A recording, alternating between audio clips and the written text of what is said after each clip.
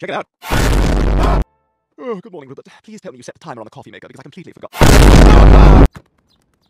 Hey, Carl. Hey, can I get a couple of scratch-off lottery tickets? Oh, sure, Brian. Oh, Brian, can I do one? I love scratches. Well, all right, maybe just one. Cherry. Another cherry. Oh, come on, one more, one more.